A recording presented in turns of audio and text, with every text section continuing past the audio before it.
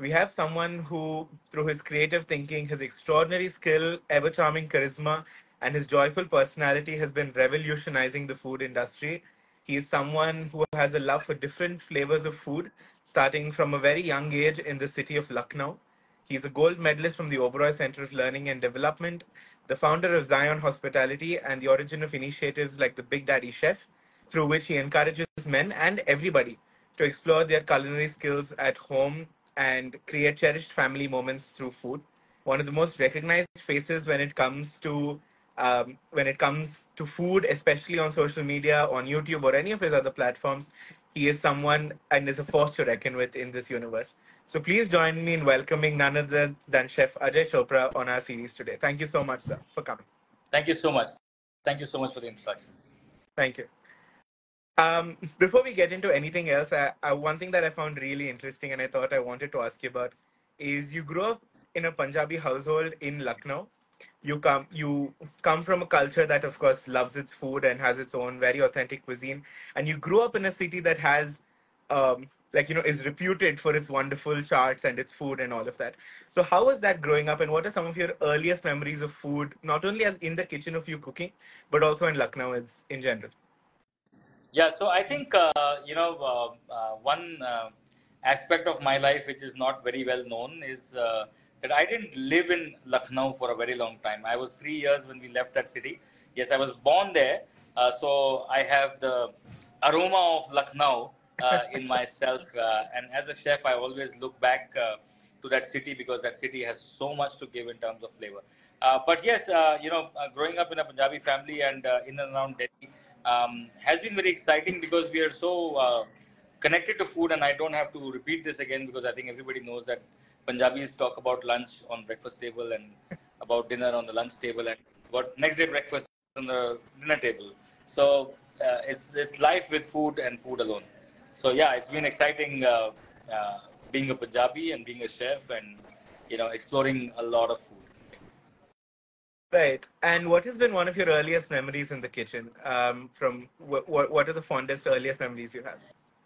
Yeah, so I think I was uh, uh, I was nine years old when uh, um, uh you know uh, when I had first uh, dabbled my hands in the kitchen. just one second. Um, so I had you know I, I had basically um, never been inside the kitchen. I was nine years old, and my mom was very unwell, and she would always have a cup of tea at, uh, uh, you know, in an hour uh, in the evening. Um, and that one day I saw her without that tea, and I checked on her, and she was very unwell and she was sick. And she said, So I went and I tried making, uh, you know, that tea and got her that glass of tea because as Punjabis, you don't have cups of tea, we have glasses of tea. Um, and she had tears in her eyes and that day uh, something struck. I don't know. I don't remember. You know this is like a like a very very uh, long ago memory but i remember that moment that mom had tears in her eyes. And um, i now think back and think that you know i think it is it is a love for food and it's, it's about the the food person who's creating that food. There's definitely a big connect. Uh, and post that day i did not hold myself back. I started to help mom in the kitchen and wherever I would go and see some skill, uh, you know, whether it was a dhaba guy making a dal fry, I would pick up that skill and try and replicate that at home. Or if it was a Chinese gadi wala, you know, I, will see them chopping the cabbage very finely. So I requested mom to get me a Fiskars knife. I remember that in, in the year 1990. Uh, you know, it used to be a Fiskars knife, which I, these days is like kind of not available. Um, and uh, that was very sharp at that time and and I got that and I cut my finger uh, trying to cut that cabbage. Uh, but all all fun. I think uh, all of that led me to something. Although I had never thought because I did not know that there was any career like hotel management that one could join. But uh, I think it it was God's will and way that He had planned for me. And uh, I got to know about hotel management. I said, yeah, interesting. I should do that. And when I entered uh, the hotel management college, I think six months through, I was very, very sure that I wanted to become a chef. So that's the journey. That sounds absolutely lovely. And I think for a lot of us, um, and thanks for sharing that anecdote with us. I think that was very sweet of you. And it's so heartwarming that, like, you know, um, your culinary journey started with that cup of tea with your mom, and I think that's uh, uh, that's just such a beautiful story for us to listen to as well. And from there, of course, like you said, you went into hotel management, and there was no turning back. But uh, one thing that, like you know, when I was going through and sort of uh, one thing that you've always been very particular about, and what you said in your answer earlier as well, is that you're not someone who's ever sort of advocated for the whole idea of gender roles in ki- in the kitchen, but that is, of course, something that has been around for a very long time, and in and for and for some reason continues to as well. So, in in your professional journey, once that has happened, do, do the what is your experience with these gender roles been in the more professional side of culinary um, uh, in the culinary world? I mean, see, we all know that you know it's our moms and our grandfather, grand grandmothers that we remember uh, for good food, and it's uh, very very rare that we remember our father or our grandfather for uh, you know great food. But if you look look at it, uh, ironically, all chefs are males. Uh, you know, so it is quite a quite a quite a diverse thought process. So if you think about it, uh, the very fact is that there is no reason for it. First of all, right? um, विधि का विधान बोल सकते हैं या it is uh, a tradition uh, traditional thought but i think you know i am a believer in the bible and i know how it all started because uh, um, adam was cursed uh, differently than eve you know and adam was cursed that you will go and earn the bread with the with the sweat of your, on your brow. Okay which means that man had to work hard to go and earn the bread which means that the woman uh, who, who was given by god as the perfect companion for adam would help him in everything else right? So i think w- the woman took the role of the housemaker or the homemaker and uh, adam took, took the role of uh, the person who would go out and and uh, you know fetch bread um, and i think if you look at all of us traditionally this is how it has happened. But now life has changed. We are not living in the adam and eve world. Um, you know uh, life has become very tough. Expenses have become very high. And uh, it's all the couples who have to work together. Uh, so that's why i'm advocating this whole thing about the big daddy chef is because i believe that uh, in a few man few things and i also function. You know my wife is sitting in the same room so i uh, obviously i'm saying it in all honesty. Um, women don't get a day off right? But they do need to get some time off at least if not a day off. So every sunday i take over the kitchen for dinner and uh, you know i cook with my boys. What it does to me is that it creates that bonding with my boys. It gives that little bit of rest to my wife and also gives her the thought that hey i'm not alone in all this we are together. All right and i think that is family unit. So if if dads start doing things like this then more families will not disintegrate but actually integrate. And that's a very very important thing to be thought through in today's day and age because we see families breaking up we see boys and girls doing all sorts of things because you know their parents are very busy. Um, you know but if the parents are taking that time out and doing these things and cooking is something that you do every day. You know it is something that you have to do. I think families will be very different. This world will be very different. So that is what the deep man thought on the big daddy chef. On the contrary in the professional world um, it is the men who are in the kitchen. It's not because of any other reason. I know some fantastic female chefs and in fact we know garima arora is that first indian chef who's got two michelin stars. Um, it is about a woman's make like i talked about adam and eve you know eve was made as the more delicate one not the weaker one there's definitely a difference on how you handle a, a, a rose Mm-hmm. and how you handle a hammer right Mm-hmm. so um, women do make very good chefs, and some of uh, very senior chefs that I know are very, very good. But because of the way this tradition is that women, you know, will give birth to children and they will have a maternity off, and their bodies do go through a change, and it is physically strenuous to stand for 18, 20 hours. Not every woman is up and about to, you know, say that I will fight it out. We never saw female pilots before. Now we have so many female pilots. We never saw major generals or, or you know, high uh, uh, post uh, army uh, personnel as females. But now we are seeing that. So as the world is changing, I think this is happening that women are um, trying to say that why should I leave myself behind? I'll also do it more, right? So I, I don't see it as a gender inequality or equality at all. I just see it as the fact that if you want to do it, bring it on. Come, we'll all do it together. But if you don't want to do it, then in a team, whether it's a male or a female, I can't have someone who, you know, I have to show mercy on. I, I don't want to do that. It's a teamwork. You know, kitchens work with teams. And if one team member is going weak, weak, weaker, then it's not fair for the entire team. That's how that's how I think. It could be a male, it could be a female. Got it. So, just to sum that up for everyone that um, was watching, I think one thing that stood out for me was when you said your Sunday dinners with your boys is sort of a bonding moment for you, and that you know it just creates that sense of family, and it it is like you said, it's become a family practice, and it's just something that happens because it needs to happen, and it's just sort of a moment that you take um, within the house as well.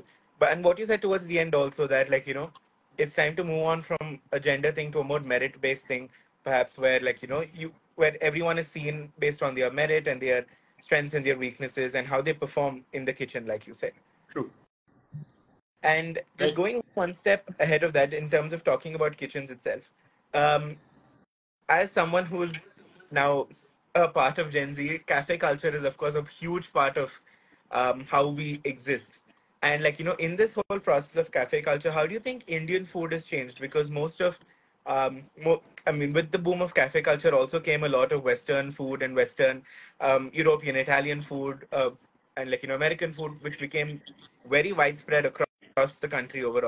So, how do you think Indian food is doing in terms of? Where do you think Indian food is finding a place amongst this whole uh, revolution that's happening now? Okay, so you know, I was working in London from 2007 till 2009, and I was Mhm. having a I was having a conversation with somebody in terms of how the world is and how the cuisine is rolling about. So uh, a gentleman uh, who was working with a very senior chef uh, uh, from the Gordon Ramsay regime um, gave this interesting thought about uh, you know what is modern food, um, and everybody says modern Indian, modern this, modern that, but um what is modern food? So there is you know there's modernism there is contemporary food and there is fusion food. So uh, somebody in this group also asked what is your thought on fusion food? So I'll, i think i'll start with that. Uh, for me fusion is confusion. You know period. Because um, um, people do not understand uh, the uh, basics and the foundations and they try and mix and match two flavors um, so that doesn't work. You know, I'm, I'm not going to name the restaurant and the place that I had, but I, I recently had, uh, I asked for a sweet lassi and uh, he said, sir, let me surprise you. Uh, so he made a salted chaas with a little bit of sweet and pan. It was horrible, right? Because it just doesn't go well. So um, the point I'm trying to make is that it has to not just taste well, but it also has to have ethos. So fusion can have ethos only when you know your basics well. Contemporary is very well uh, cooked food, plated very well. Modernist food is when I start thinking differently. So, for example, if I have had pani puri in a particular manner where I've stood on the street and you know eaten like that, can I think of putting seafood in the pani puri? Now that's not fusion. That's modern because why only put aloo? Why can't I have seafood? Why can't I have prawns? You know, why can't I have a tom yum soup with my pani puri? Who stops me? You know, so it's about thinking differently. So uh, I think for me, this particular understanding is very important when we say what do we understand about Indian food. The other aspect is that Indian food across the world is now the second most uh, uh, enjoyed cuisine because the first one is obviously their own. So if you're in Germany or if you're in France or if you're in Italy, people are now looking for Indian food more than ever before. So this is very good news for us.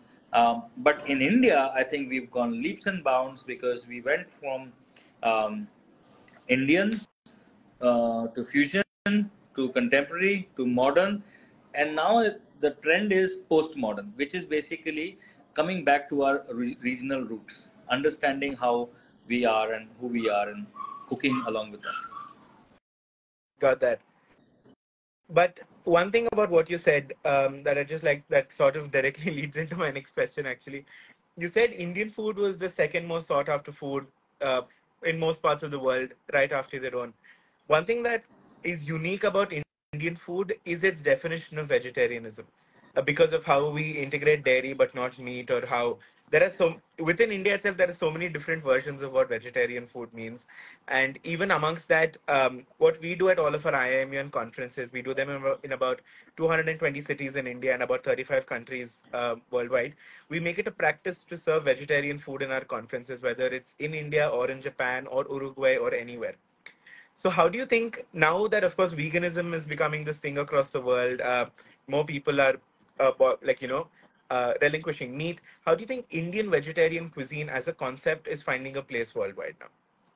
So, uh, so there are three things. One is that you know I would I would uh, not completely agree that uh, uh, you know that uh, Indian food is different because uh, we are vegetarian. I think Indian food is different because we are 29 states and seven union territories, and each state and each union territory has at least two cuisines. So I believe you are from Gujarat. Looking at you, looks like you're from Gujarat. No, no, I'm from Karnataka. Okay, sorry.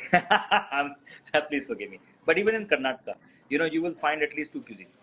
Um, you know, uh, uh, in Gujarat you'll get find three. In Rajasthan you'll find two. Um, you know, so if we if we calculate, we, we are a country. We are one country with almost 40, 50 cuisines. Each Correct. cuisine having, um, let's say, a minimum of 50 dishes. You know, do the mathematics. So I think that's what is India all about. It's so different. Um, we can't have the same dal every day, whilst uh, a Gora can have the same baked beans every day. We can't. We can't have the same aloo paratha every day. One day we have to have aloo paratha, second day we have aloo pyaj paratha, third day we have, you know. So we need our we need our variety. Uh, now coming to vegetarian and your question on vegetarianism and veganism, uh, I think uh, you know people are uh, uh, moving towards veganism. Very honestly, I don't know why. I uh, I, I don't like it because uh, you, know there's always been a coexisting society across the world which has been there. You know, so Darwin's theory will be put to rest if everybody becomes vegan, right? So, I mean, the circle of life has to complete. That's what I feel and believe. Uh, but having said that, a lot of doctors are saying that because obesity is on the rise, um, you know, a lot of doctors are saying stop dairy, you know, become vegan. I'm not sure. Let's understand a life without butter, cream, and milk. You won't have butter chicken. You won't have uh, rasmalai. You won't have gulab jamun. Think about your life without it. I mean, you can't really make gulab jamun with almond milk, can you? You can't really enjoy life as you did without that.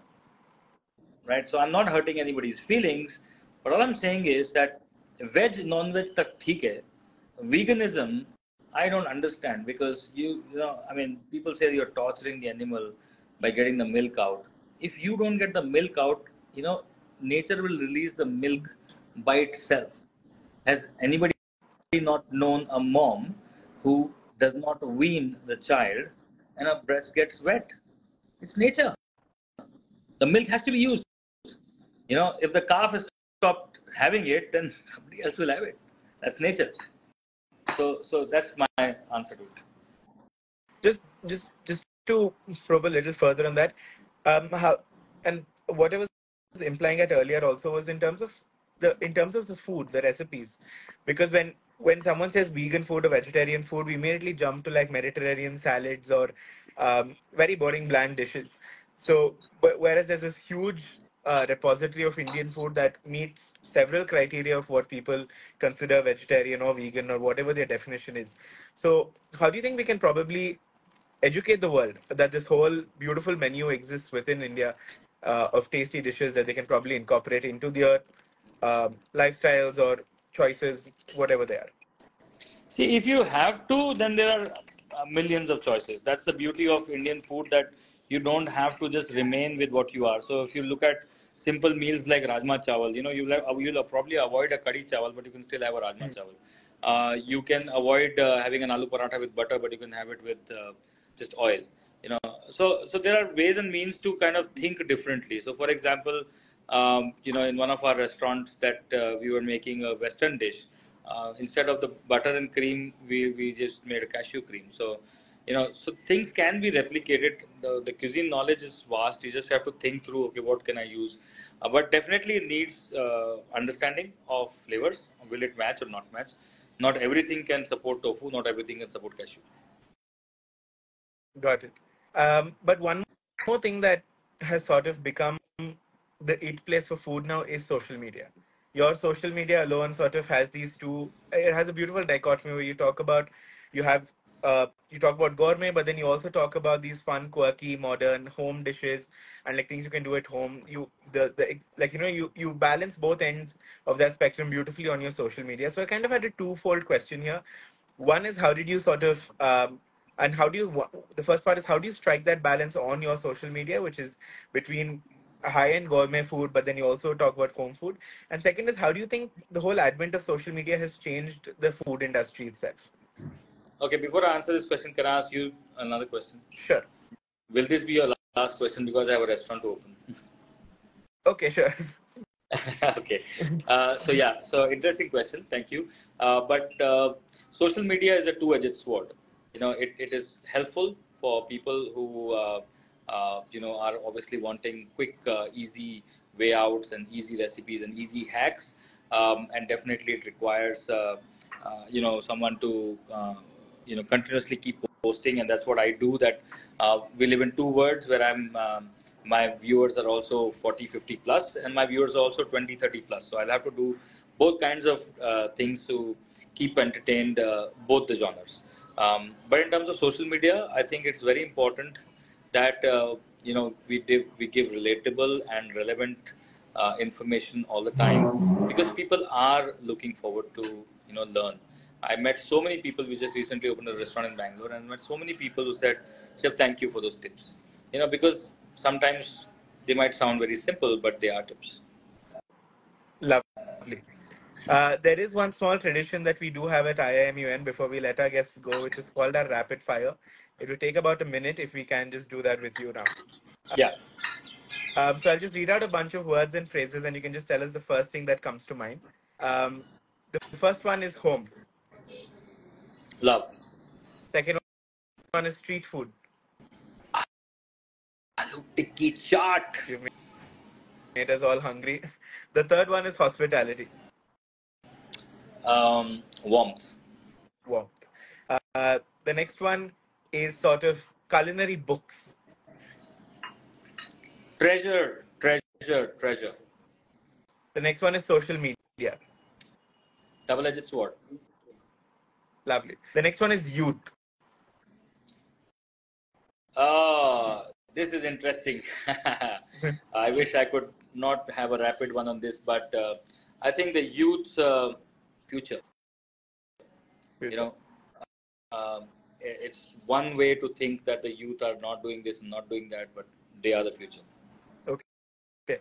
The next one is India. Ah, one trillion economy. Wonderful. And the last one is our organization, which is IIMUN. Fantastic. Thank, thank you. And before no, we let really you go, speaking, I think you guys do a lot in terms of uh, you know keeping yourself abreast as well as uh, giving a lot of information uh, through social media and other channels. So well done. Thank you. That's very kind of you. And before we just let you go, one question that is a part of this series is what has been your recipes recipe for success and if there are a few ingredients you want to share with all of the students watching, what would those be? Well, I think my recipe for success uh, after 25 years, I figured out that uh, trust God, um, work hard, and uh, do that continuously. Do both of them continuously. Lovely. So the recipes some, being faith, hard work, and yeah, and and for the students, I think uh, you know uh, the only thing that I would like to say that uh, you know you can work smart. A lot of lot of students today say no, you don't need to work hard. You need to work smart. Uh, my answer to that, that is that uh, unless you have worked hard, you won't even know what is working smart. True. Lovely, sir. Thank you so much for your time. It's been absolutely lovely chatting with you. I think there was so much to take away from everything you told us. And in the end, what you said, which is to have faith, uh, put in the work, put in the hours, and have hard work, which will then lead to smart work. You can't just do smart work without the hard work first. So thank you so much for spending time with us here today. We're